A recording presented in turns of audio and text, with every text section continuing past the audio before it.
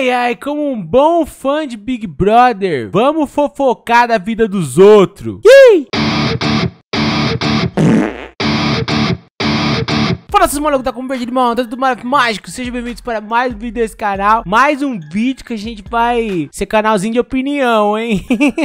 Bota foto de anime na minha cara. Lá vamos nós, mais uma vez, comentar da comunidade da internet. Mayumi, essa moça aqui, vocês conhecem quem são? Se você é uma pessoa das streams, pessoa dos vídeos de YouTube Você sabe quem é Mayumi. Mayumi, ex-pro player de League of Legends? Ou não é ex? Não sei, talvez eu esteja passando informação errada errado, eu acho que é isso. Mayumi é essa pessoa que a internet inteira chipa com Mukalol, mas que não, galera, coitado, tem namorada, menina. E nem é disso que a gente tá falando hoje, é outra fita, outra fita. Ó, pra quem não sabe o que é Mayumi, eu vou pedir pra Alexa explicar quem é Mayumi. Alexa, quem é a Mayumi? Mayumi Azaka. É isso você tem pra me explicar? Preguiçosa do caralho, mano. Mayumi Azaka? Nem é essa Mayumi, ô, ô, ô Alexa, é outra Mayumi, meu. Alexa, quem é Mayumi do LoL? Não tenho nenhuma resposta para isso. Ah, então enfia no cu. Essa moça aqui, ó, Julia Nakamura, Mayumi, ex-pro player de League of Legends, se envolveu numa treta hoje ao expor uma conversa com o porteiro do seu prédio. Pelo que a gente entende da história, ela se mudou recentemente para um prédio novo e de repente o porteiro do seu prédio surgiu do nada e mandou uma mensagem no WhatsApp dela que ela não passou para ele, que ele simplesmente fuçou na, na, na, ficha lá e pegou o WhatsApp da mina e falou assim, hum, vou puxar assunto. E tudo começa assim, ó. Ela postou assim, o porteiro pegou meu contato e tá usando figurinha de Haikyuu. Sou fã já. Tá vendo? Tava dando certo. O porteiro não, não tava incomodando ela até aí então. Ele mandou aqui, ó. Seja bem-vindo a um condomínio. E a figurinha do Haikyuu. O erro de Mayumi foi esse aqui, ó. Que aí tá borrado. Mas tá o, o, o nome e a foto do, do porteiro exposta aqui. Porque logo depois disso, ela foi lá e postou assim. Mano, que raiva. E, e o resto da conversa com ele. Que ele mandou. Posso perguntar uma coisa? Ela falou, pode. Na verdade, queria te falar algo também. Eu peguei seu contato apenas porque te achei simpática e carismática e fiquei curioso para te conhecer. E a pergunta era só para saber se isso ia te incomodar ou se tem algum problema. O porteiro pegou o telefone na ficha da moça e já chegou mandando um tirão de 12 na cara.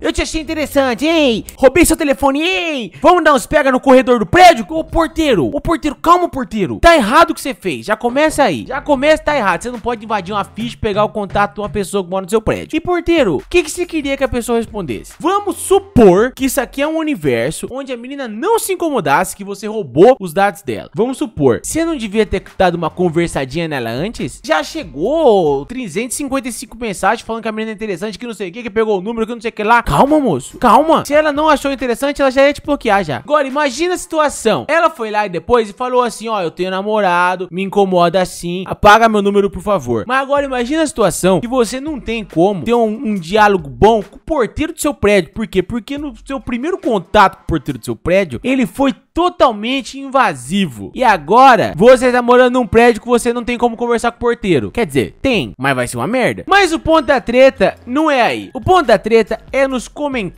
Quando o, o público da Mayumi não entendeu o que, o porteiro fez de errado. Olha lá, como esse cara comentou assim, ó. O que é isso? O cara não foi nem invasivo nem nada. Sem necessidade total de mostrar o nome e a foto de perfil dele. É, a Mayumi errou em mostrar o nome e a foto de perfil do cara. Mas o cara não foi invasivo? Maluco, ele fuçou a ficha que ela cadastrou pra morar no prédio pra pegar o celular da menina. Se isso não é ser invasivo, eu não sei o que que é. Ele foi mó educado, se incomodou, era só falar, tipo, sei que é chato, mas ele foi educado. Ele foi educado, roubando meu número. Ele foi educado, tá? Pra você, jovem, que não entende a gravidade do problema, já fica a dica. Se você, nesse caso, é o porteiro, pelo amor de Deus, encontra a pessoa no, no pessoalmente, troca uma ideia, aí pergunta se ela passa o número. Se ela não te passar, é porque acabou, tá? Não rouba o dado dela, não rouba. Não tem problema você trocar uma ideia com a mina, você não, você não tem obrigação de saber que ela namora. Mas você não pode roubar o dado dela. A hora que eu vi isso aqui, eu falei assim, pô, ridículo. Aí eu comecei a ler os comentários e vi a galera achando, tipo assim, ah, o que que ele fez de errado? Ele roubou, roubou os dados dela, roubou. Mano, eu nunca pensei que a gente ia ter que estar tá no ponto 2021 de explicar pro, pros caras que é errado isso. Um monte de cara perguntando nos comentários o que que ele fez de errado, o que que ele fez de errado. Os caras mandam, tipo, aqui ó. Desculpa, mas não entendi o motivo da frustração. Se o cara parecer um nerdola esquisito, é só dar bloco. É só dar bloco no porteiro do seu prédio. Que talvez você teria que ter contatos com ele por causa de você morar no prédio. É só dar bloco.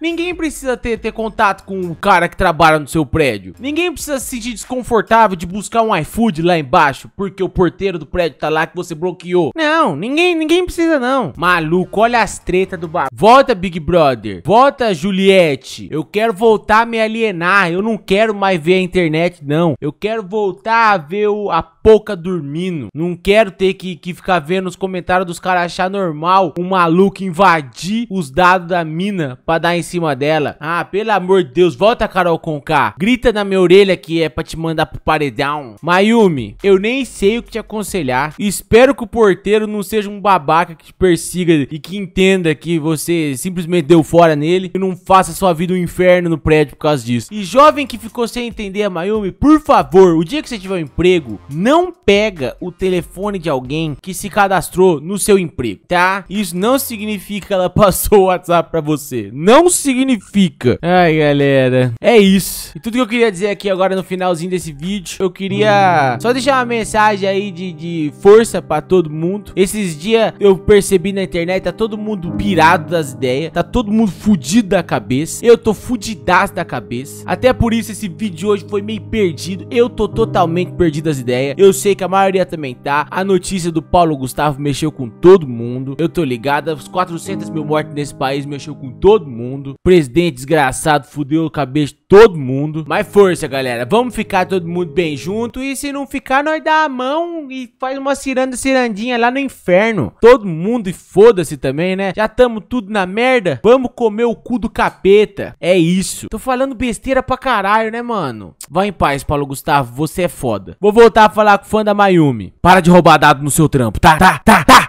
Vídeo mais perdido que eu fiz na história. Não tô entendendo mais nada. Sou um canal de opinião. Põe uma foto de anime na minha cara. Dá like, se inscreve e até um próximo vídeo. Comenta a sua opinião. É assim que o canal de opinião faz. Tem que pedir opinião. Vou dar a minha opinião sobre esse óculos. É meio apertado aqui na orelha. Gosto mais ou menos, mas é bonito. Tchau. Até o próximo vídeo. Um beijo no canto esquerdo do Corinthians, diagonal e tchau.